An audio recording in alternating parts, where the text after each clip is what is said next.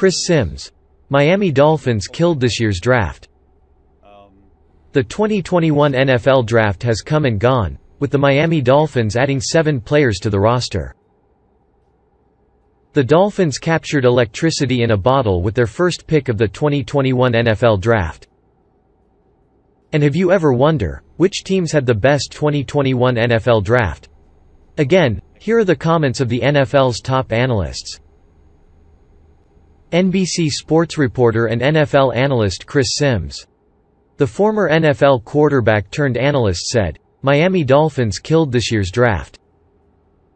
According to Simms, the Miami Dolphins dominated the 2021 NFL Draft with sixth pick. When it comes to the Dolphins, Simms believes the AFC East franchise added significant help for their young quarterback in Tua Tagovailoa. Miami drafted former Alabama wide receiver Jaylen Waddle in the first round. Waddle, who topped next-gen stats GPS tracking in terms of straight-line speed and change of direction acceleration, averaged 19.2 yards per target in 2020. Waddle averaged just under 130 receiving yards per game in 2020 and caught 82% of targets that traveled 20 or more yards through the air. As NBC's Peter King detailed, amazing, really, to see the incredible receiver depth at Alabama in the last three years. Waddle started nine games in three years at Bama and I predict him will break the league this year.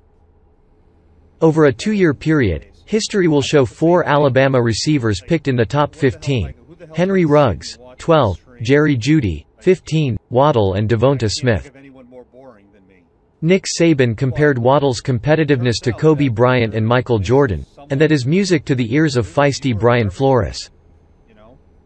This pick is about not only adding a top receiver to a group with Will Fuller IV, Preston Williams and DeVante Parker, but giving Tua Tagovailoa a truly fair chance to show he's the franchise's long-term quarterback in 2021.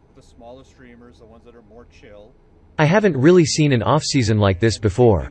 Since when has Miami Dolphins won the full attention of America?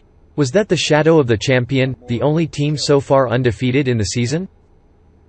What do you think about the statements of Simms and Peter King? And I am very happy already. Let's go baby. Fins up.